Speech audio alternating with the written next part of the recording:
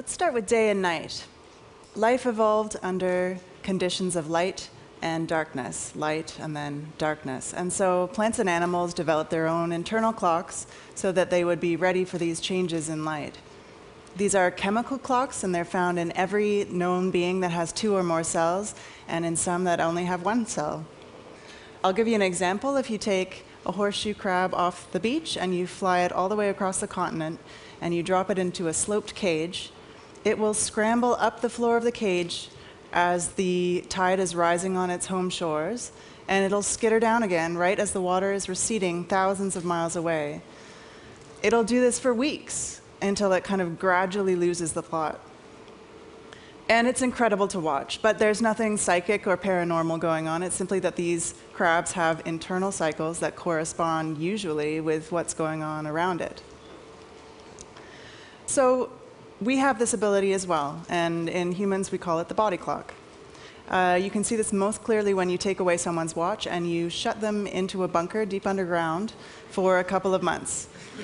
People actually volunteer for this, and they usually come out kind of raving about their productive time in the hole. So, no matter how atypical these subjects would have to be, they all show the same thing. They get up just a little bit later every day, say 15 minutes or so, and they kind of drift all the way around the clock like this over the course of the weeks. And so, in this way, we know that they're working on their own internal clocks rather than somehow sensing the day outside. So, fine, we have a body clock, and it turns out that it's incredibly important in our lives. It's a huge driver for culture, and I think that it's the most underrated force on our behavior. We evolved as a species near the equator, and so we're very well equipped to deal with 12 hours of daylight and 12 hours of darkness.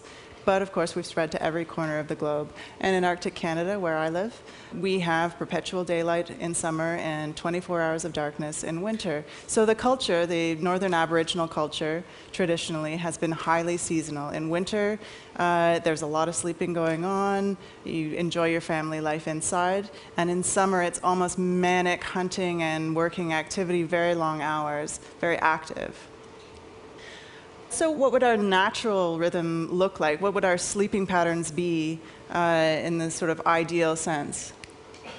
Well, it turns out that when people are living without any sort of artificial light at all, they sleep twice every night. They go to bed around 8 p.m. Uh, until midnight, and then again they sleep from about 2 a.m. until sunrise. And in between, they have a couple of hours of sort of meditative quiet in bed. And during this time, there's a surge of prolactin, the likes of which a modern day never sees.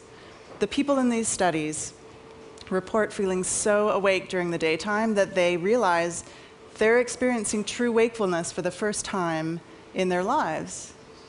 So, cut to modern day, we're living in a culture of jet lag, global travel, 24 hour business, shift work, and you know, our modern ways of, of doing things are, you know, have their advantages, but I believe we should uh, understand the costs. Thank you.